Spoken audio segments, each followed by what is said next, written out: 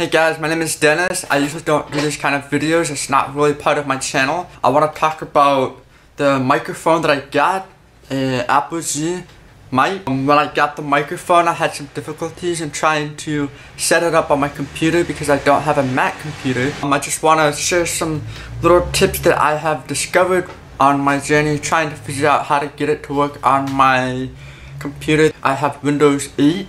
You need to go to your computer, you right click, you go to manage, and then you're in your computer management, you go to services and application, then you go to services, and you gotta go all the way down to Windows Audio, and you have to stop this device. Because for some reason, if you check out some other videos, they can explain to you how it works, is that this microphone has to have direct access to the audio system and it can't run through the computer. I don't know all the technical information, I really don't know that much about how everything works. But whatever you do, you gotta remember to activate it again once you're gonna render your file. So the program I use is Reaper, which really doesn't matter what program you use, but when you go to preferences, you will have to download and install ASIO4ALL. So when you go to your audio system, you go to your devices, and you select ASIO. So the important thing is, is you go to your ASIO configuration, and you have to have these selected here. It's interesting to note that if you have your, if you do have your Windows Audio active, let's start it up again, close this down, cancel. So you bring it up again, and go to ASIO configuration, you will notice that this little X here, Realtek HD audio output. And this is the audio that prevents the audio from playing at the same time while you do your recording. So if you want to do record and hear the audio at the same time, and as you will notice in the previous video, or the previous window, you'll see the out range, output range not connected.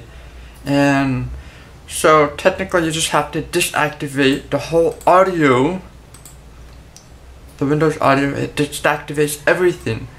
So you stop it, you go back, go to ASIO configuration, and you'll notice that it's not working. So basically what you can do is you can listen to the audio and you can record at the same time. So let's play let's get the audio. So you hit the record button.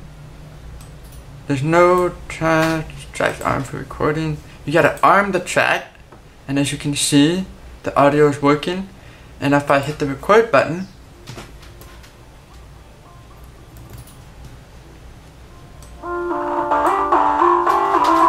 So you can control the volume here, but when you disactivate the audio, you will have no control over the volume of your vol the volume of your computer.